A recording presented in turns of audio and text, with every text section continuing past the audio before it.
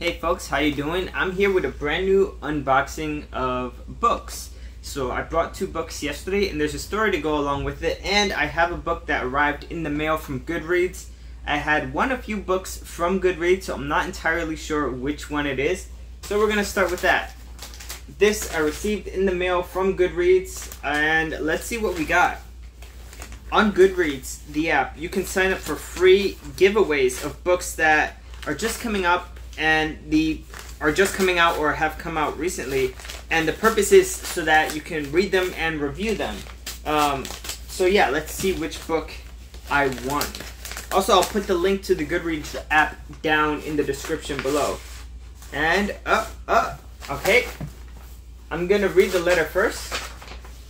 This is congratulations on winning a copy of Imposter Syndrome No More Overcome Self Doubt and Imposterism to Cultivate a Successful Career by Jill Stoddard, PhD, on sale September 19th. So, this is a book that hasn't come out yet. Uh, sometimes they do this so to generate reviews before the book comes out or to let the author know if there's any edits that need to come out uh, be added to the book and i have done that before uh, in imposter no more dr stoddard lays the groundwork for understanding the imposter phenomenon and provides actionable steps to be able to choose bold career moves despite self doubt and imposterism. We look forward to seeing your review on Goodreads, social media, or wherever you talk about books. All the best, Kimberly Luke. And so there you go. This is an advanced reader's copy, and it's also an uncorrected proof, not for sale. So I'm very excited uh, to get into this. Hopefully, I have a lot of books that I won for free, so hopefully I'll get to this soon. I'm still finishing Black House by Stephen King and Peter Straub. But uh, the next books I have to show off that are new in my collection come from the Strand Bookstore. The Strand Bookstore is from is at Union Square. And today, as I'm getting out of work, there was a huge riot at Union Square. So it's a good thing I went yesterday and not today.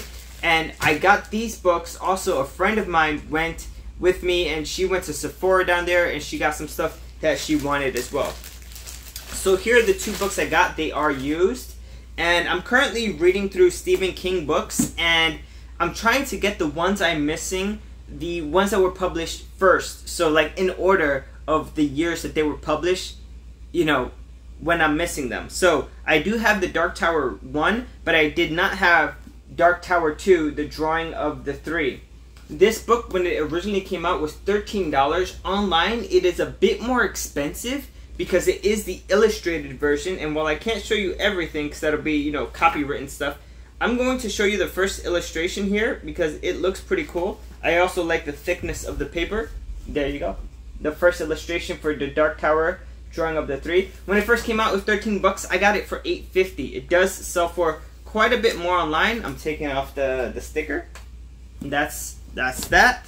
Uh, the second book is The Wastelands, which is the third book in the Dark Tower series. This is also an illustrated version of The Wastelands, which is awesome. When this came up, it was originally 15 bucks. I do have an illustrations to show you. Here you go. Boy with a flower. Pretty cool. And yeah, I got this for 8.50. Again, these sell for quite a bit um, more online. So I'm happy to get it from the Strand Books.